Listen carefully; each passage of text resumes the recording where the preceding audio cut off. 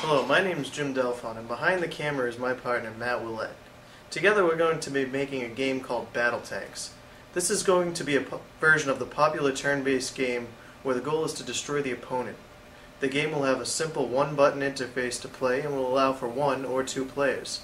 Here's a demo of what the game could look like.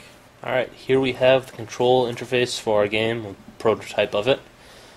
We have over here an angle indicator determines the angle the projectile will be shot with, and a power box here which determines the power it is shot at. To control it, you simply press the button and hold it down.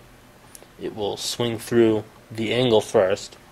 When it hits one end, bounces back. If you can continue holding it down, when it gets to the very bottom, it'll start swinging back up. It continues like this, bouncing back and forth until you release the button. That locks it in. Once the angle's locked in, control now switches to the power bar. Press down the button and hold it, same way you did with the angle indicator. When it hits the end, it will bounce back.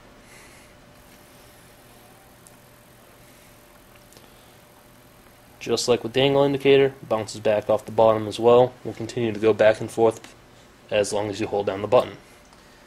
Once your settings have been decided, your animation of that shot will then happen right above. So here we have a player on the right hand side, shot at an angle of 45 degrees at 75% power. The projectile travels a little ways and hits a building. You get a small explosion when you hit a building, but it doesn't continue and you won't hit your mark. On the other side, we have the player set to 80 degrees and shot at 75% as well.